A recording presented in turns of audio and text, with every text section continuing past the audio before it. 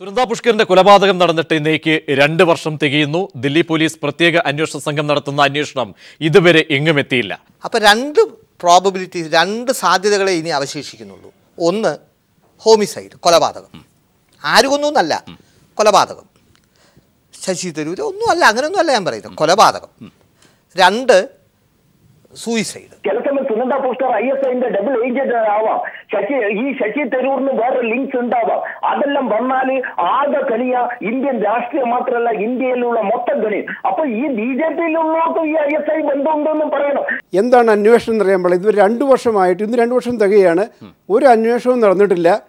F B ഐക്ക് പോലും report പോയി. അതിനുശേഷം പോലും ഒന്നും സംഭവിക്കുന്നില്ല. ഒരു കൊലപാതകമാണെന്ന് പറഞ്ഞത് അൺനാച്ചുറൽ ഡെത്താന്ന് പറഞ്ഞ് വന്നിരിക്കുന്നു. എന്താണ് ഇതിന്റെ രാഷ്ട്രീയം എന്നുള്ള കാര്യം നമ്മൾ അറിയേണ്ടിയിരിക്കുന്നു?